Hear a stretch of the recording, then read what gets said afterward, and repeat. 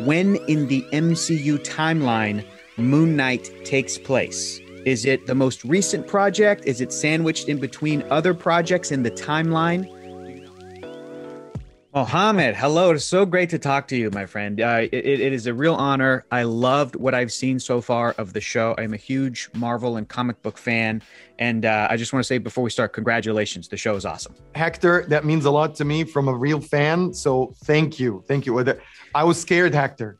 I couldn't sleep, so thank you. No, you guys nailed it. You guys nailed it. well, I told my kids in the in school, please don't give your address. Don't tell until the show is out.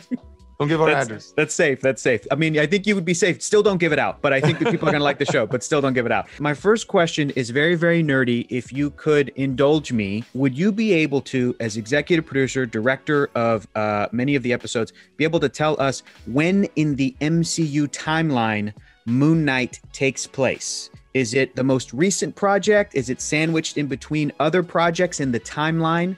Do you not want to spoil anything? I I want to tell you that one of the best things about this this show was it's it, it feels like a standalone project. It does. By the way, that wasn't the case in the beginning. The, the case in the beginning was it, there was some crossovers, small small uh, Marvel uh, stuff, but yeah. as it progressed, as we saw the cuts as we we we finished the show and felt you know what that doesn't need anything else let's even cut every any any any easter eggs or anything you know what this stands on its own so i actually don't know and i don't i actually want you i want you we had a set date but just so you know before the show because the marvel world is so complex mm-hmm. we had a date we had a year but i'm not going to say just because it doesn't matter anymore Right. I, am sure that, that that the fans will decide for themselves. They'll figure yes. it out. So maybe at some point in the future, maybe they would appreciate some kind of confirmation. But until then, let us hunt the Easter eggs. We will figure it out, Mohamed. Thank you. Okay, I'm, great. I'm sure. But uh, as I told you, and I love that. I love that relationship with the fans who actually enjoy some mystery. I like. Yeah. I think so.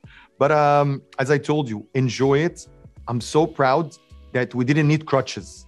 Yes. We stood on our own, and I think people already are drawn to the show by itself, which is an honor. I have been uh, talking to so many people who have worked on various Marvel projects, and I've learned that even sometimes the star of the movie or the star of the show isn't informed about the potential future plans for their character, but some of the directors are there. So I wanted to know have you been made about some of the potential future plans of these characters and where it could go from here? Have you been a part of crafting that? Or is that is it all too early stages?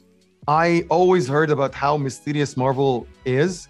Let me tell you a secret. I know nothing. okay. I swear I know nothing. Like I was just like even Oscar today talking to him, he knows nothing. Yeah. So it's we're part of the game. We know nothing. I think you guys are gonna decide. It okay. depends on how people are gonna perceive the character. Yeah. I think that's gonna dictate um, what's the future. The best thing and the most interesting about Marvel is not because you get a you did a, a good job uh, as a TV series, you're gonna get the season two. That's right, not right, the way right. it goes. You might be a film, a film might be a TV show. You don't know. You, he might join another uh, superhero. I think there's one human being on Earth who knows. Okay. the genius. Okay, so then that means no pressure for you, no pressure for me. Just as two fans of Moon Knight talking to one another. In your opinion, having spent time with this character, where would you like to, as a fan, see Mark Spector go? Where do you think he would fit nicely? Are there any other Marvel characters that you think, oh, I would like for him to to meet this character at some point? First of all, I, I have the feeling, and it's just like from the reactions and from my love for the character, that Moon Knight is here to stay. He's gonna be, that's my interpretation. If you like him that much, then again, you are the vote, not me. Right, right. So if you like him, he's gonna stay. I have the feeling he's a great character. I didn't see any, I don't know anyone who's that complex and that interesting. So I think he's gonna stay. I just want to see him with uh, all the other characters. If yeah. you ask me, I know Kevin said at some point there's not gonna be any more Avengers or something, mm. but I mm. just want to find a place that I can blend him with everyone. I want to see him interact with everyone and drive them crazy, talking to them in British accent, and all of a sudden switching to uh, his other uh, Mark, and he's gonna drive everyone crazy, which is gonna be so unique and, and special. I heard uh, Oscar say, "I want to be." Um, he um, he wants to be uh, with the Hulk. Oh, I love yes. Mark Ruffalo. I love his take. Um, definitely would love to be with him. But again, I want to see him with the most serious guy. so he drives them crazy.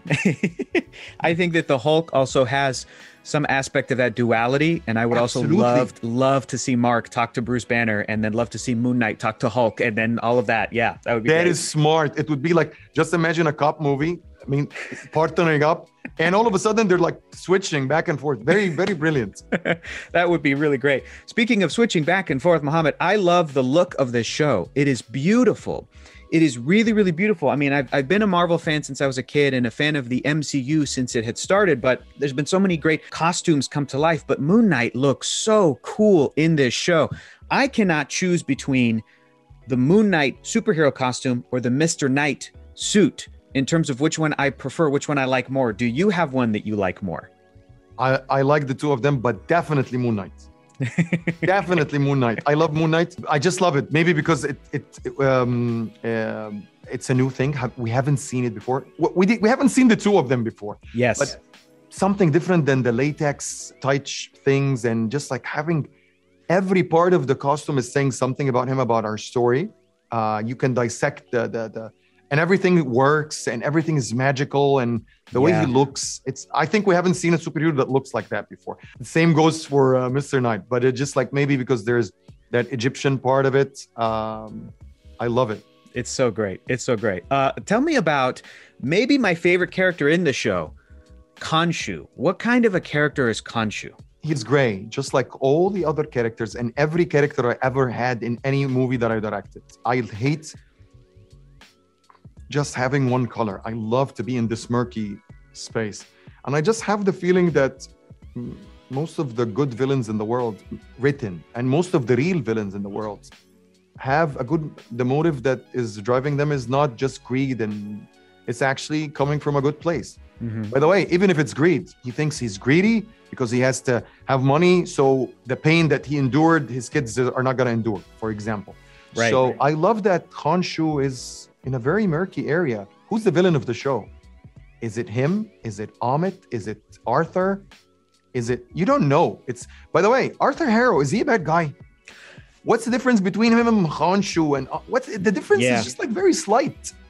So uh and I love that. Uh Mark himself, just like being a vengeful guy. By the way, any superhero. Let's let's say I'm gonna put the cape right now and go in the streets and arrest uh, uh, guys. Am I Yeah. gonna be good? Am I gonna be considered in real life good? Right. and I love right. that. I love that. And I think the best best villains are the people that start the conversation. What if you have the ability to judge people and know if they can do something wrong or not? A lot of people are gonna say yes. Um, and again, what if the other pitch? What if you're Khonshu? Anyone who did something wrong, I'm gonna wipe them. Mhm. Okay, we're not gonna give them a, a chance to repent. But some people are gonna say yes, some people are gonna say no. Yeah, I love that complexity. I, I think F. Murray Abraham as the voice was beautiful. And I just wanted to say one more time congratulations to you, sir, your wife, the entire production team, everybody working on the show. I think everybody brought their AAA game. So thank you so much. It was a pleasure talking to you. Have a fantastic rest of your day. Thank you, Hector. I wish there was like Rose. We had 1,200 people working on the show, so I want to give them all my, my salute. And uh, I want to tell you that five and six are even crazier. Okay, I can't wait. All right. Thank you. Thank you, Thank sir. you, thank you so much. Have a great care. day. Take care, brother.